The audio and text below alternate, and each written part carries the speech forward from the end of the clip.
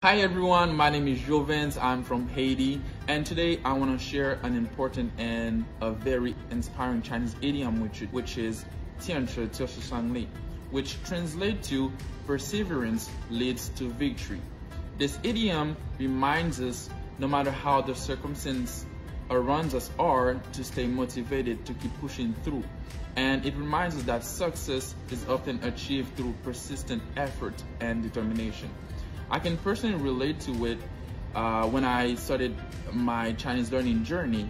I wanted to give up because it was too difficult for me.